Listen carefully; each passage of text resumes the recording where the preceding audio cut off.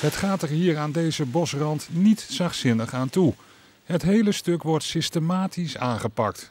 Tot nu toe werd er vooral ad hoc gewerkt. Dus als er eens een keertje ergens uh, wat meer uh, uh, bosranden de overlast veroorzaakten, of als we zagen van nou nu moeten we hier een randje doen, dan gingen we aan het werk. Er worden zware machines ingezet om zo efficiënt mogelijk te werken. Met rupsbanden kan dat ook in het najaar. De hele bosrand moet eraan geloven, dus niet alleen hier en daar een boom.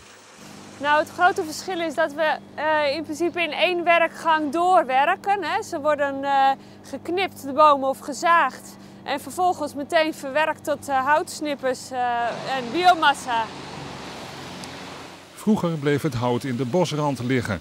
Maar daar stapt Staatsbosbeheer nu vanaf. De versnipperde bomen worden verkocht. Houtsnippers die, worden eerst tijdelijk opgeslagen hier in de buurt. In Finsterwolde is dat nu. En vervolgens uh, worden ze afgevoerd zo snel mogelijk naar een biomassacentrale. En dat zou kunnen zijn Lelystad of Purmerend. Met de opbrengst wordt een deel van het beheer betaald. De proef in Oost-Groningen duurt een jaar.